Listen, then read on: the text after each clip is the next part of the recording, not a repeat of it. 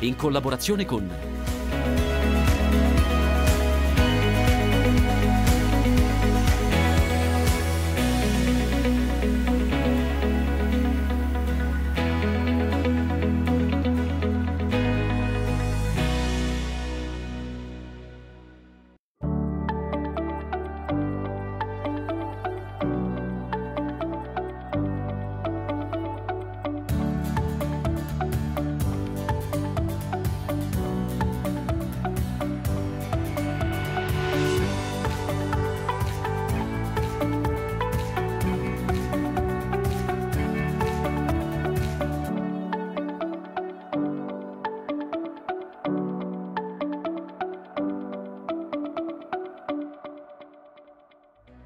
Il mondo delle sagre e delle fiere agricole torna in presenza in tutta Italia. A Riolo Terme, a Griolo, 8, 9, 10 aprile. Noi vi anticipiamo alcuni ingredienti del territorio a partire dalla frutticoltura specializzata, ma anche la regina delle foraggiere, l'erba medica.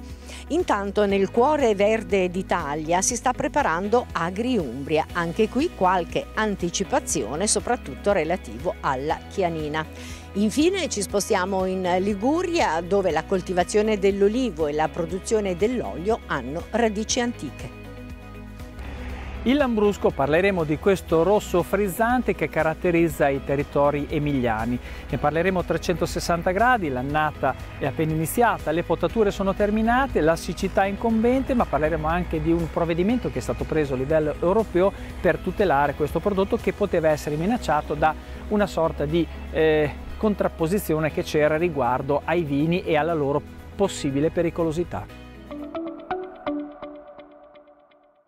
Siamo a Riolo Terme per anticipare alcuni elementi che caratterizzeranno la futura eh, fiera in presenza a Griolo 8, 9, 10 aprile. In puntate precedenti, in annate precedenti vi abbiamo raccontato la zootecnia del territorio, i prodotti tipici, il paesaggio.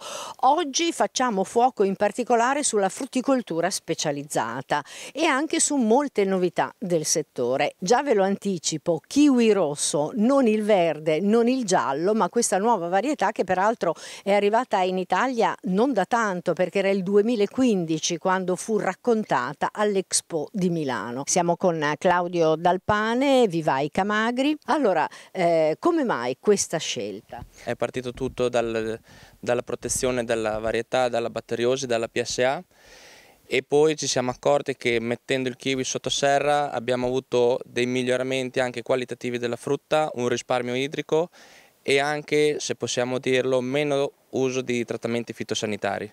Ecco, voi siete un vivaio e questo kiwi rosso poi dove va a finire? Perché voi lavorate le tante altre varietà, anche Hayward e quello ehm, Gold, eh, già da oltre 40 anni mi pare come, sì. come vivaio. Allora, il pioniere è stato mio padre Maurizio, che ha iniziato da molto giovane quando è arrivato il kiwi in Italia, l'Hayward. Noi iniziamo con eh, la creazione della piantina in vivaio, facciamo l'accrescimento, la consegniamo ai nostri, ai nostri, produttori. Le nostre piante escono se sono in vasetto che hanno circa 6-8 mesi, altrimenti con 1-2 anni che sono a stoni che l'anno dopo possono iniziare a produrre se si parla di kiwi rosso. E seguiamo tutta la parte tecnica di consulenza, di tutto quanto quello che riguarda l'accrescimento fino ad arrivare alla produzione e con gli ultimi investimenti di quest'anno arriviamo anche alla lavorazione diretta della frutta, specialmente del kiwi rosso. Comunque eh, voi fate anche esportazione, non siete solo a livello nazionale? No, noi facciamo esportazione anche oltre Europa e stiamo arrivando anche in Africa. E in questo momento la fase vegetativa di queste piante sottoserra, a cui tra l'altro prestate tantissima attenzione perché chiaramente è un momento importante. Allora, in questo momento possiamo già vedere i germogli nella fase di tre foglie con il bottoncino floreale qui, è una fase abbastanza delicata perché abbiamo ancora delle temperature rigide all'esterno, però con l'utilizzo del telo abbiamo visto che riusciamo a contenere circa 3 gradi, 3 gradi e mezzo senza attuare nessuna, nessuna tecnica antibrina. Ecco, avete anche l'uso delle candele, mi diceva prima? Sì, dall'anno scorso abbiamo fatto delle prove con eh, candele che funzionano a pellet, che hanno una durata circa di 8 ore con 10 kg di pellet. Questo è nato dal fatto che c'è anche un discorso di asfissia radicale, se noi irrighiamo troppo abbiamo le piante che ci vanno in crisi. In questo modo riusciamo a limitare l'utilizzo di acqua e quindi anche un benessere della pianta, oltre che effetto anticongelante. C'è un'espansione del kiwi rosso perché era stato recepito come grande novità, poi una battuta d'arresto in questo momento?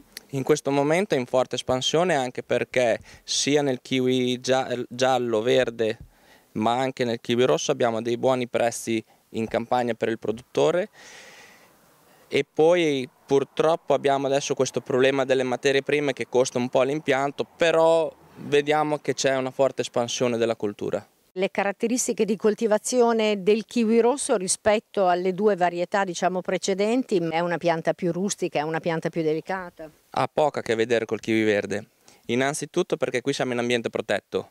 Come dicevamo prima, l'utilizzo dell'acqua durante specialmente il periodo estivo è del 45-50% in meno perché non abbiamo vento e non abbiamo evapotranspirazione qui sotto, quindi c'è un notevole risparmio idrico.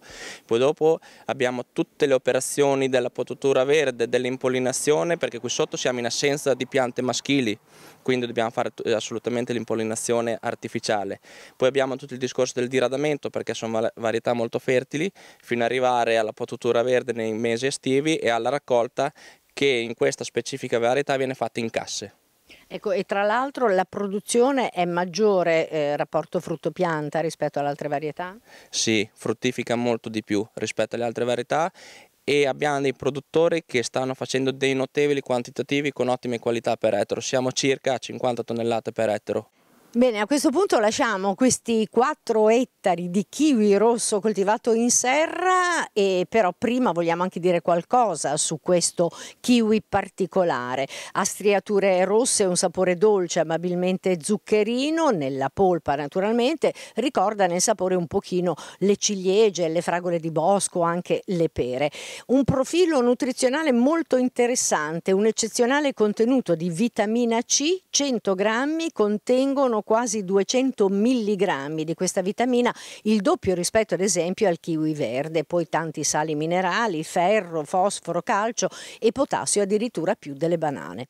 Dalla frutticoltura specializzata alle colture in campo aperto e in questo caso parliamo di foraggere, e la regina delle foraggere, l'erba medica. Lo facciamo con Roberto Scozzoli che è direttore a PIMAI e anche responsabile commerciale per quello che riguarda il mondo continental. Allora, diciamo che questo Covid per due anni ha eh, condizionato pesantemente l'andamento dei mercati e anche se l'erba medica non entra rientra direttamente nel circuito alimentare eh, ci rientra in quanto eh, alimentazione appunto per quello che riguarda le bovine, le stalle e quindi ha risentito anche del eh, calo dei prezzi per quello che riguarda ad esempio i formaggi bandiera eh, dell'Italia. Detto ciò in questo 2022 come si prospetta la stagione anche da un punto di vista climatico?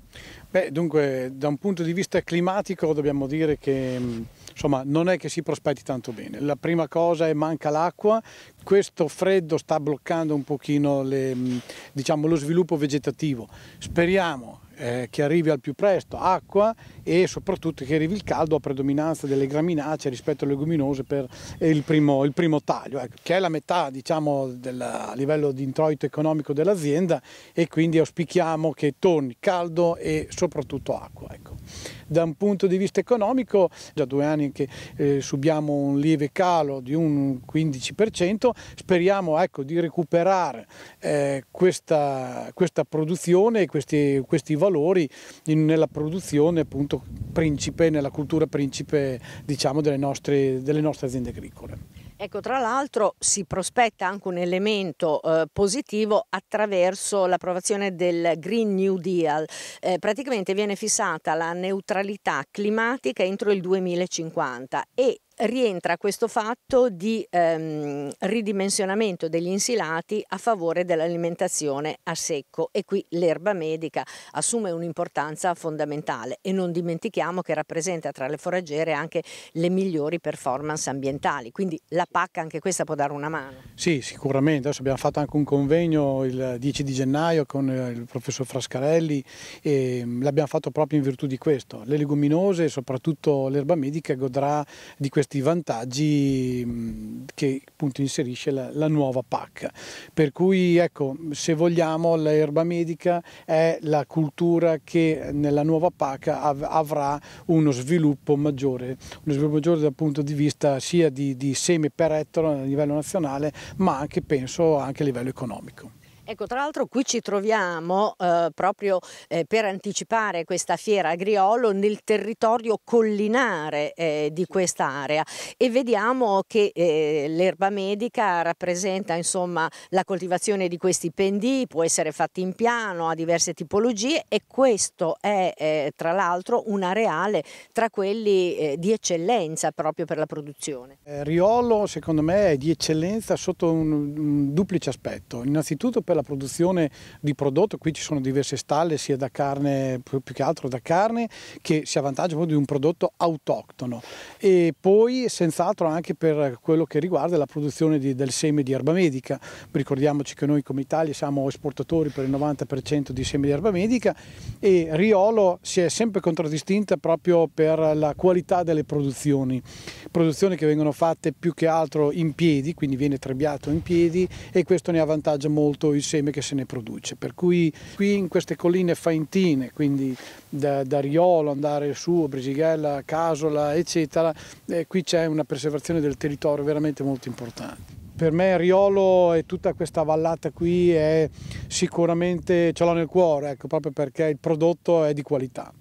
Allora, ce l'abbiamo nel cuore anche noi perché finalmente torna Agriolo in presenza e allora andiamo a scoprire quali saranno le conferme e le novità.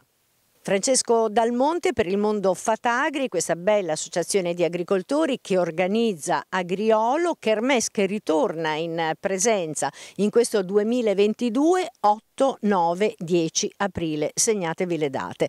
Allora, che cosa troviamo nel menù di Agriolo? È sempre stato un, una grande eccellenza diciamo, di persone che, adesso viene da pensare, Don Marino con la schiusa delle uova, eh, le api con tutto il suo lavoro che è una cosa eccezionale, il bestiame diciamo, le macchine eh, diciamo, per la raccolta, dalle vendemmiatrici agli ulivi che adesso in questo momento qui sta andando molto alla grande, diciamo, le macchine da, da estensivo, eh, diciamo, i prodotti tipici, eh, tutte queste cose che diciamo, una fiera può offrire e penso che non deludiamo nessuno. Poi abbiamo anche diciamo, tutti i mesi d'epoca, la storia, eh, anche quest'anno penso che abbiamo qualche sorpresa. Sono stati due anni che purtroppo molto duri con il Covid e ci hanno portato via anche persone molto importanti vicino a noi. Però eh, siamo qui anche in loro memoria